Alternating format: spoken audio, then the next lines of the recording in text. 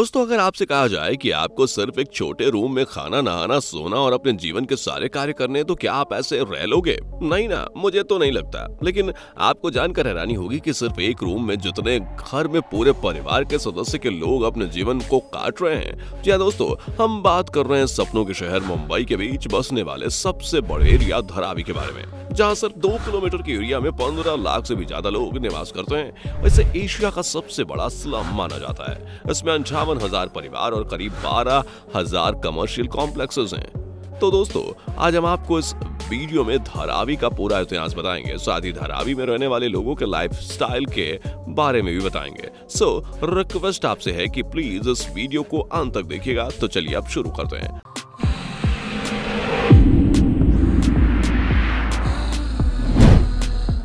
दोस्तों आपको बता दें कि धारावी को मुंबई का दल भी कहा जाता है। अंग्रेज़ों के काल में वसी ये बस्ती आज एशिया की सबसे बड़ी और दुनिया की तीसरी सबसे बड़ी बस्ती है। धारावी स्लम को छोटा इंडिया भी बोलते हैं। ये बस्ती मुंबई के ऊँची ऊँची इमारतों के बीच बसी हुई है। अगर आप मुंबई में कम खर्चे में ठिकाना चाहते हैं तो ये बस्ती आपके लिए उचित है। और आपको ये बता दूँ कि इस बस्ती को दुनिया की सबसे गंदी बस्तियों में से एक माना जाता है। आपको ये भी बताते चलें कि पहले धारावी एक दलदली मछली पकड़ने वाला गाँव हुआ करता था, जो अठारह सौ बयासी में अंग्रेज़ों ने मजदूरों को किफायती ठिकाना देने के मकसद से बसाया था। लेकिन काम करने के मकसद से यहाँ धीरे धीरे लोग आकर बसने लगे और यहाँ झुग्गी झोपड़ियाँ बंद गईं। सबसे बड़ी बात तो ये है की धारावी की ज़मीन सरकारी है। लोगों ने अपने पैसे खर्च करके झुग्गी और बस्ती बनाई है। यहाँ पर लाखों दिहाड़ी मजदूर और छोटे कारोबारी रहते हैं। इस जगह पर शिक्षा का स्तर और साफ़ सफ़ाई की स्थिति बेहद ही खराब है। बता दें कि 550 एकड़ में फैली धरावी की झुग्गी, बस्तियों की संख्या इतनी है कि दूर से देखने पर ज़मीन नज़र ही नहीं आती। इस बस्ती में 100 वर्ग फीट की झुग्गी में करीब 8 से 10 लोग एक साथ रहते हैं। कुछ झुग्गियों में घर और कारखाने भी हैं। सबसे हैरान करने वाली बात यह है कि यहाँ पर 80 फ़ीसदी लोग पब्लिक टॉयलेट का इस्तेमाल करते हैं। धरावी की झुग्गी बस्ती में दिहाड़ी मजदूर के अलावा अपना खुद का कारोबार करने वाले लोग भी रहते हैं। इस बस्ती के दोनों तरफ़ रेलवे स्टेशन भी है। एक तरफ़ महिमा स्टेशन है तो दूसरी तरफ़ सायन स्टेशन है। इस जगह पर ज़्यादा जनसंख्या होने के कारण गंदगी ज़्यादा रहती है, जिससे यहाँ बीमारी भी फैलती रहती है। आपको बता दें कि साल अठारह में दुनिया भर में फैलने वाले प्लेग का असर धारावी पर भी पड़ा था। यहाँ पर लगभग 20 प्रतिशत लोग चमड़े से जुड़े कार्य करते हैं। धरावी अपने चमड़े से जुड़े काम के लिए विशेष रूप से प्रसिद्ध है। धरावी में आपको चमड़ा बाज़ार से सस्ते और एक उत्तम क्वालिटी की वस्तुएँ मिल जाएँगी। और यहाँ पर अन्य काम भी लोग करते हैं, जैसे की कपड़ा निर्माण, व्यापार और मिट्टी से बर्तन आदि बनाना।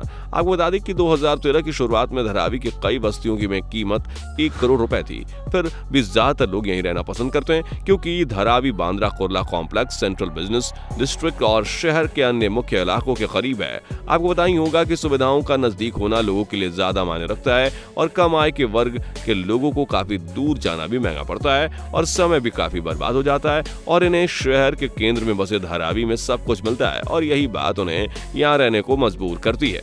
आपको बता दें कि कई विकसित देशों से ज़्यादा उद्यमी धारावी में रहते हैं। हार्वर्ड यूनिवर्सिटी के इकोनॉमिस्ट एडवर्ड ग्लासेर ने दावा किया था कि धारावी व्यापार करने वाले लोगों से भरा पड़ा है। हालाँकि इसका कोई सटीक अनुमान तो नहीं है, लेकिन एक सर्वे के मुताबिक शहर में कामकाज करने वाले भारतीयों में तिरालीस प्रतिशत सेल्फ एम्प्लॉयड से बता दें कि अमेरिका के किसी मेट्रोपॉलिटन इलाके में भी ग्यारह प्रतिशत से ज़्यादा सेल्फ एम्प्लॉयड लोग नहीं है। इसका मुख्य कारण है कि यहाँ पर आप स्वतंत्र होकर काम कर सकते हैं और यहाँ पर कोई नियम लागू नहीं होता। गाँव की अपेक्षा धारावी ज़्यादा समृद्ध है। बताया जाता है कि धारावी की अर्थव्यवस्था 600 मिलियन डॉलर से 1.6 बिलियन डॉलर या उससे ज़्यादा है। यहाँ कोई छोटी छोटी बड़ी इंडस्ट्रीज़ भी हैं, बेहद ही घनी जनसंख्या वाले धारावी में भारत के अधिकतर हिस्सों के मुकाबले ज़्यादा व्यापार होता है। इस जगह पर इस्तेमाल हो चुके प्लास्टिक और रुई को रिसाइकल किया जाता है और गंदगी को बर्तनों में बदल दिया जाता है। वीडियो में आगे बढ़ते हुए आपको ये भी बता दें कि धारावी में 63 परसेंट हिंदू 30 परसेंट मुस्लिम और 6 परसेंट ईसाई धर्म के लोग रहते हैं। इसके अलावा बौद्ध और अन्य अल्पसंख्यक धर्मों की एक छोटी आबादी भी है। कुल मिलाकर धारावी की आबादी के सभी प्रकार धर्मों के लोगों और राज्यों के लोगों से भरी है।